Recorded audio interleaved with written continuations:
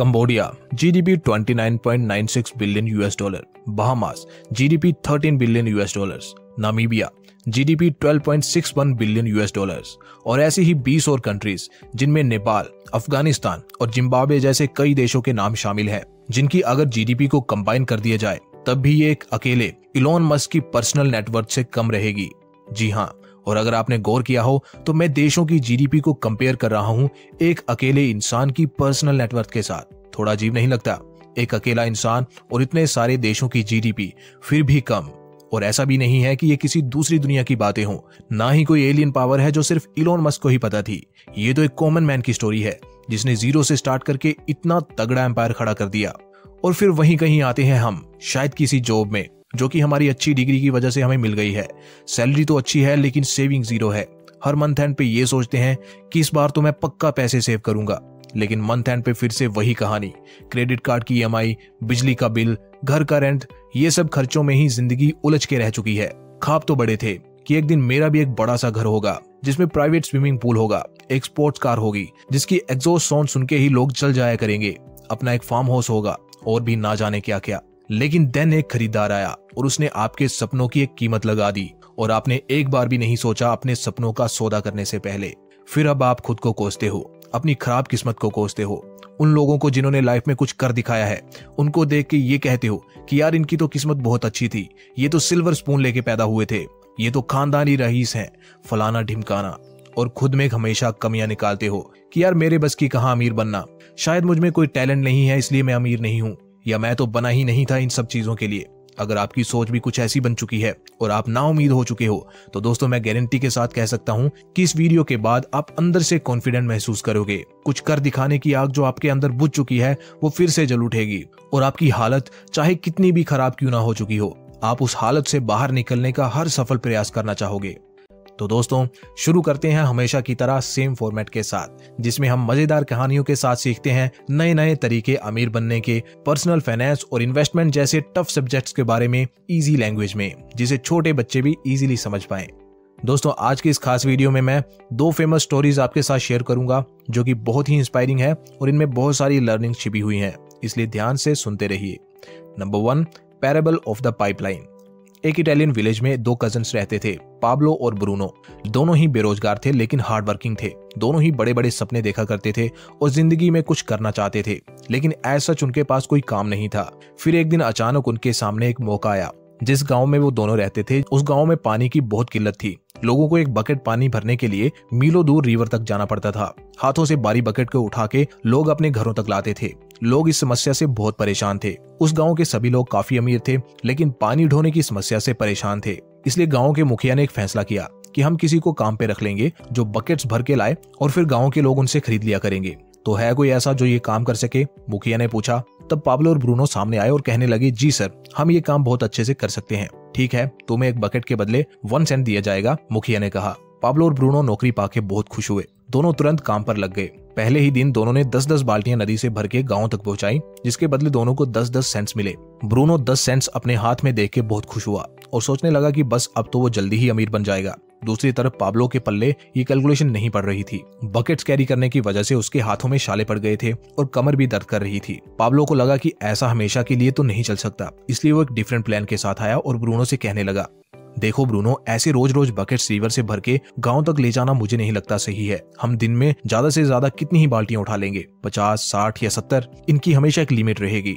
लेकिन अगर हम ऐसा करें कि एक पाइपलाइन रिवर से लेके गाँव तक बिछा दें तो हम अनलिमिटेड पानी गाँव तक पहुँचा सकते हैं और बिल्कुल कम मेहनत करके ज़्यादा पैसे कमा सकते हैं। इस पे ब्रूनो कहने लगा, लगता है पावलो, तुम पागल हो गए हो। पाइपलाइन बिछाने में तो सालों लग जाएँगे। तब तक हमारा काम कौन करेगा? घर में पैसे कहाँ से आएँगे? मुझे तो कोई ज़रूरत नहीं लगती पाइपलाइन की। मैं आराम से दिन में सौ बकेट्स कैरी कर सकता हूँ। ये कह के ब्रूनो अपने काम पे लग गया और रिवर से बकेट्स भर के गाँव तक लाने लगा। जबकि पाब्लो पाइपलाइन बिछाने के काम पे लग गया। पाब्लो को अपने आइडिया पे यकीन था। उसे मालूम था, आज का पेन कल का गेन बनेगा।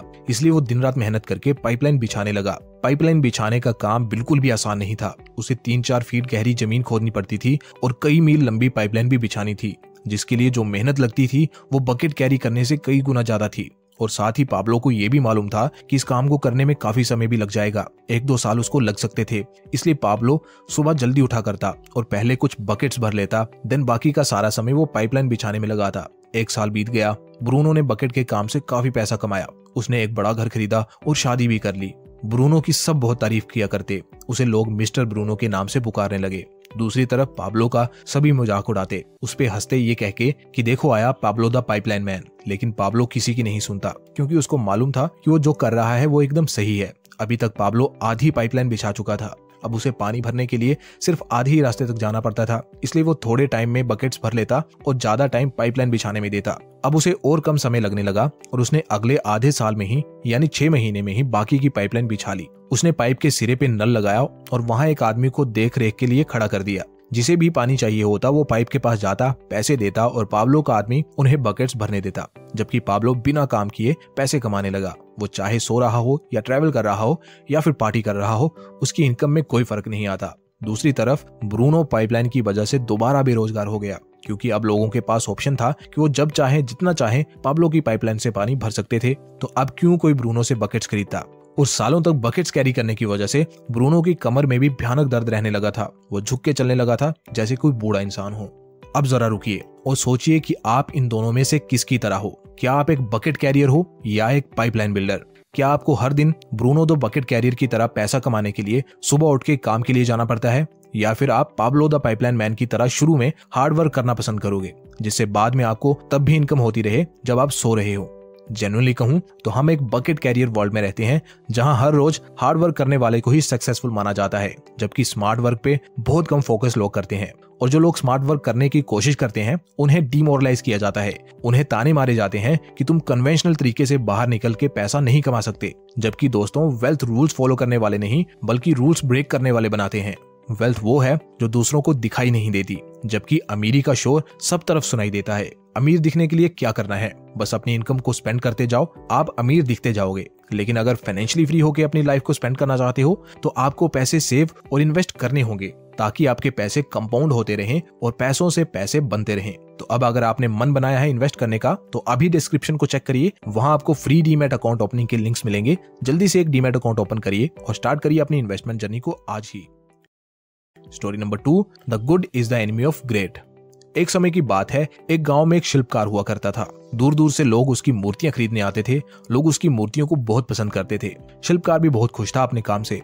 वो लगातार मूर्तियों के नए नए डिज़ाइन बनाता रहता और जब भी कोई नया डिज़ाइन बनाता तो वो सबसे पहले अपने पिताजी को दिखाता। उसके पिता हमेशा उसकी मूर्ति से कोई ना कोई गलती निकाल देते और कहते कि, बेटा, इसे दोबारा बनाओ और इस बार पहले से बेहतर बनाना। और ऐसे वो शिल्पकार मूर्ति को दोबारा बनाता और जब उसके पिता इजाज़त देते तो वो तभी फाइनल प्रोडक्ट को मार्केट में सेल के लिए उतारता। और जैसे ही वो नया डिज़ाइन उतारता तो लोगों की भीड़ लग जाती, उसे देखने और खरीदने के लिए। ऐसे ही सब चलता रहा और समय बीतता गया। शिल्पकार की प्रसिद्धता दिन पर दिन बढ़ती चली गई। लोग उसका आदर करने लगे। उसे कई पुरस्कारों से भी सम्मानित किया गया और ये सब के कारण उसे ये महसूस होने लगा कि वो अब परफेक्ट बन चुका है। इसलिए अब उसने अपने पिता के क्रिटिसिज्म को गलत साइड लेना चालू कर दिया। उसे लगने लगा कि उसके पिता उसकी मूर्तियों में से बेवजह नुक्स निकालते हैं। इसलिए उसने अपने पिताजी से तर्कश शब्दों में कहा कि, पिताजी, आप कल से कारखाने में मत आइएगा। आप घर ही रहिए। मुझे अपना काम खूब आता है। मैं खुद संभाल लूँगा। उसके पिता ने कहा कि ठीक है बेटा, जैसी तुम्हारी मर्ज़ी। और उन्होंने काम पर आना बंद कर दिया। कुछ महीने तो अच्छे चलते रहे, लेकिन धीरे धीरे शिल्पकार की मूर्तियों की सेल नीचे गिरने लगी। और फिर कुछ सालों बाद उसकी मूर्तियों के बस गिने चुने ही खरीदार रह गए और उसका कारोबार घाटे में चलने लगा। फिर उसे समझ में आया कि उसके पिताजी की उसके कारोबार में कितनी अहमियत है। उनके क्रिटिसिज्म के कारण ही उसकी मूर्तियों की क्वालिटी हमेशा इंप्रूव होती रहती थी, जिसे कोई मैच नहीं कर पाता था। लेकिन जब शिल्पकार ने अपने पिता को कारोबार से बाहर कर दिया और इम्प्रूव करना बंद कर दिया तो और लोगों ने उसकी मूर्तियों को इजीली रेप्लीकेट कर लिया और सस्ते दामों पे बेच के सारा क्राउड अपनी तरफ़ कर लिया। इसलिए दोस्तों स्टोरी का टाइटल है good is the enemy of great जब आप गुड में सेटिस्फाई हो जाते हो तो आप ग्रेट कभी नहीं बन पाते। जबकि गुड करने वाले कई सारे लोग बैठे हैं। ऐसे में आपके पास क्या स्ट्रेंथ है? लोग आपके पास क्यों आएँगे? एक बार ये सवाल खुद से पूछ के देखिए। चाहे आप नौकरी करते हो या कोई कारोबार, सिर्फ़ अच्छा करने से आप सफल नहीं हो पाओगे। आपको ग्रेट करना होगा। हर रोज पहले दिन से बेहतर करना होगा।